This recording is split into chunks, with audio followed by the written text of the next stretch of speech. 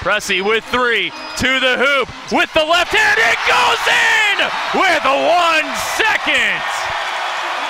Timeout Vipers.